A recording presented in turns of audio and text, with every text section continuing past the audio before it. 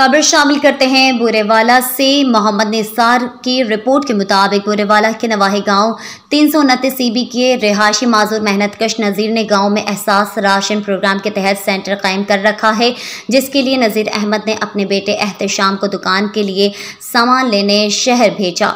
नौजवान के शहर पहुँचते ही इसी गाँव के रिहायशी नासिर नामे शख्स खातून समेत दो दर्जन के करीब मुसलाफरात को लेकर तारा आटा, सेल पॉइंट्स बिहाड़ी बाज़ार पर आकर नौजवान पर तशद करना शुरू कर दिया। डंडों, सूटों और लोहे के राड से नौजवान के हाथ की उंगलियाँ और बाजू तोड़ दिया। तशद से जिसम के मुख्तलिफ़ हिस्सों पर ज़रबें भी आईं।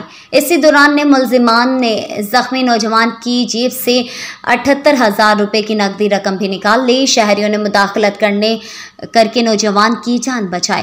वन फाइव की इतला पर पुलिस ने मौके पर पहुंचकर मेडिकल की रोशनी में मुलजमान के खिलाफ कार्रवाई का आगाज़ कर दिया। मजीद खबरों के लिए हमारी वेबसाइट का विज़िट करें क्राइमेल डॉट पी के तीन सौ नती चक का ਮੇਰੇ ਦੁਕਾਨ ਦਾ ਨਾਮ ਹੈ ਫੌਜੀ ਸੁਪਰ ਸਟੋਰ ਜੀ ਉੱਥੇ ਅਸਾਸ ਪ੍ਰੋਗਰਾਮ ਦਾ ਚੱਲ ਰਿਹਾ ਸਿਸਟਮ ਜੀ ਉਹਦੇ ਵਿੱਚ ਆਣ ਕੇ ਮੇਰਾ ਬੱਚਾ ਮੂਰੇ ਵਾਲਾ ਰਕਸ਼ਾ ਲੈ ਕੇ ਤੇ ਸੌਦਾ ਲੈਣ ਆਇਆ ਹੈ।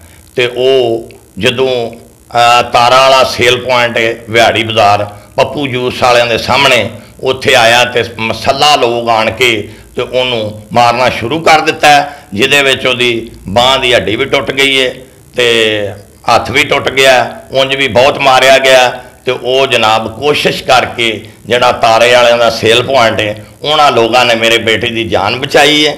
ਉਹਨਾਂ ਦੀ ਮਿਹਰਬਾਨੀ ਅੱਲਾਹ ਤਾਲਾ ਉਹਨਾਂ ਨੂੰ ਲੰਮੀ ਜ਼ਿੰਦਗੀ ਦੇ ਤੇ ਮੇਰੀ ਰਿਕੁਐਸਟ ਹੈ, ਵਜ਼ੀਰ ਆਲਾ ਪੰਜਾਬ ਹਮਜ਼ਾ ਸ਼ਬਾਜ਼ ਸਾਹਿਬ ਦੇ ਅੱਗੇ ਆਰਪੀਓ ਮੁਲਤਾਨ ਦੇ ਅੱਗੇ ਡੀਪੀਓ ਵਿਹਾੜੀ ਦੇ ਅੱਗੇ ਕਿ ਸਾਰੇ ਤੁਸੀਂ ਨੋਟਿਸ ਲਵੋ ਤੇ ਇਹਦਾ ਕੋਈ ਅਜ਼ਾਲਾ ਕਰੋ। ਮੇਰਾ ਨਾਮ ਰਾਣਾ ਇhtisham ਨਜ਼ੀਰ ਹੈ ਜੀ।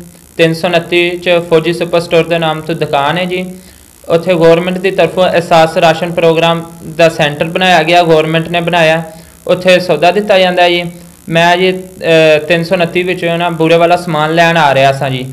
ਉੱਥੇ ਕੁਝ ਬਾਸਰ ਲੋਕ ਆਏ ਨੇ ਮੇਰੇ ਪਿੱਛੇ ਤੇ ਉਹਨਾਂ ਨੇ ਮੈਨੂੰ ਮਾਰਿਆ ਪੀਟਿਆ ਤੇ ਮੇਰਾ ਬਾਜ਼ੂ ਵੀ ਤੋੜ ਦਿੱਤਾ ਗਿਆ ਜੀ।